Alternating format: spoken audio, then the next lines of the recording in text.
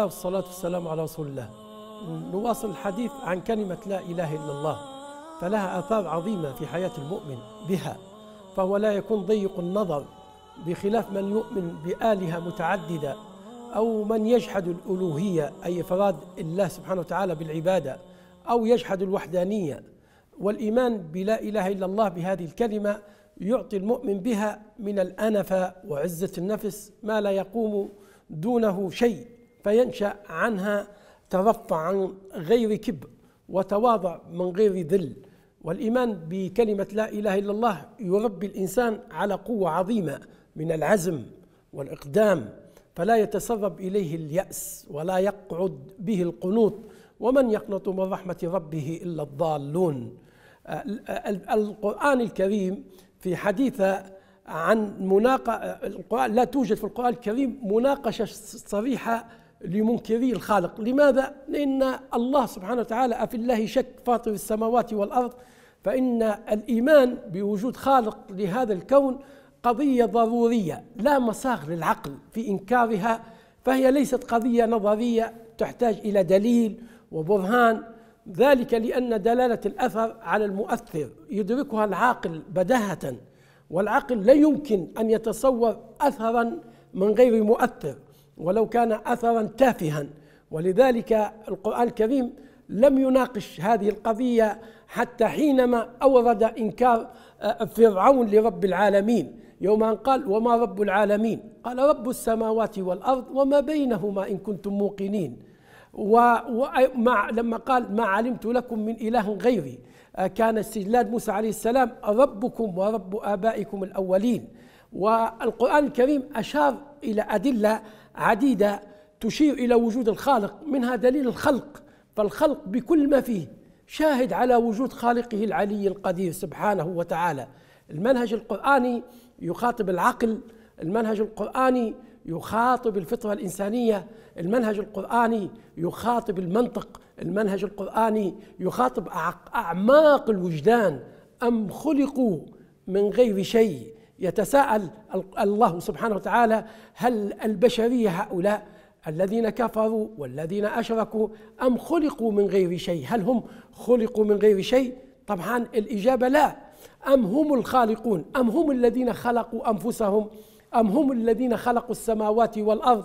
أم خلقوا السماوات والأرض بل لا يوقنون؟ شوف أنظر إلى هذه الآية وتأمل فيها بهدوء وتفكر أم خلقوا من غير شيء؟ أم هم الخالقون أم خلقوا السماوات والأرض بل لا يوقنون؟ القرآن الكريم أشار إلى أدلة على وجود الخالق. فالخالق دليل الخلق دليل على وجود الخالق. فالخلق بكل ما فيه شاهد على وجود خالقه العلي القدير سواء هذا الإنسان أو هذه السماوات أم هذه الأرض. ولهذا في القرآن الكريم الآية التي تخاطب الفطرة. الآية التي تخاطب العقل الآية التي تخاطب المنطق الآية التي تخاطب الوجدان. تأمل معي وتدبر معي في قول الله تعالى أم خلقوا من غير شيء؟ أم هم الخالقون؟ أم خلقوا السماوات والأرض بل لا يوقنون؟ أم خلقوا من غير شيء؟ هؤلاء المشركون أو هؤلاء البشر هل أم خلقوا؟ هل هم خلقوا من غير شيء؟ هل لا يوجد خالق لهم؟ عليم حكيم قادر سبحانه وتعالى. أم هم الخالقون؟ والله هم خلقوا أنفسهم طبعا في استحالة. وبالتالي الفطرة الداخلية تعلم بأن الخالق هو الله سبحانه وتعالى. كما قال سيدنا إبراهيم عليه السلام قال أفرأيتم ما كنتم تعبدون؟ أنتم وآباؤكم الأقدمون. فإنهم عدو لي إلا رب العالمين. من رب العالمين؟ الذي خلقني فهو يهدين. والذي هو يطعمني ويسقين والذي إذا والذي وإذا مرضت فهو يشفين والذي يميتني ثم يحيين والذي أطمع أن يغفر لي خطيئتي يوم الدين. يبقى في قول الله تعالى أم خلقوا من غير شيء؟ أم هم الخالقون؟ أم خلقوا السماوات والأرض؟ طبعا لا يوجد مخلوق يقول أنا خلقت السماوات والأرض إلا رب الع... إلا الخالق فقط هو الذي خلق السماوات والأرض. أم خلقوا السماوات والأرض بل لا يوقنون؟ هذه الآية الكريم الكريمة دليل المخلوقات دليل على وجود الخالق. أم خلقوا من غير شيء؟ أم هم الخالقون؟ أم خلقوا السماوات والأرض بل لا يوقنون؟ أيضا أشار القرآن الكريم على وجوده سبحانه وتعالى بدليل الفطرة ودليل العهد وهو الذي دل عليه القرآن الكريم والسنة النبوية المطهرة. قال تعالى في دليل الفطرة فأقم وجهك للدين حنيفا فطرة الله التي فطر الناس عليها لا تبديل لخلق الله ذلك الدين القيم ولكن أكثر الناس لا يعلمون. فطرة الله التي فطر الناس عليها التوحيد الله وفطرة الله التي فطر الناس عليها أنه لا إله إلا الله ولكن أكثر الناس لا يعلمون.